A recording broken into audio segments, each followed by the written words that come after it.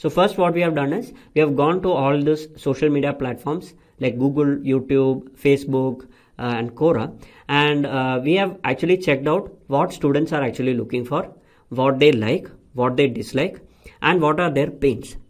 So uh, all these materials will help you create your course topic, your ideal course that you should actually be creating. So uh, this uh, you, you can create an Excel sheet uh, like this.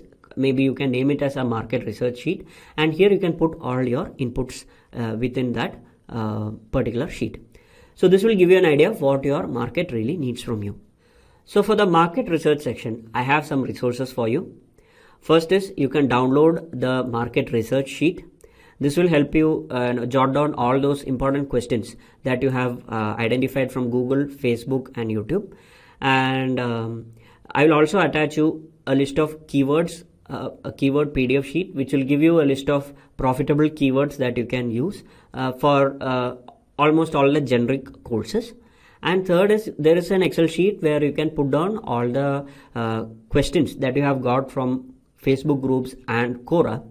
So this way what happens is when you note down all these uh, particular questions or um, say posts that is available once you create your course or start creating your course you can go to these places and you can already announce it. Way before you are creating your course you can already announce uh, that you know you are creating this online course and uh, that you that you would like to solve their problem with this online course and so on.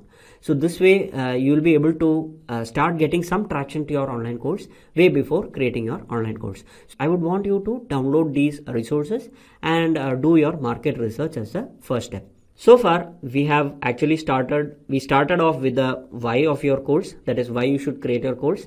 And now we have come to what you should be teaching based on market research. In the next section, let's see how to take your course topic and turn it into your online course. See you in the next lesson.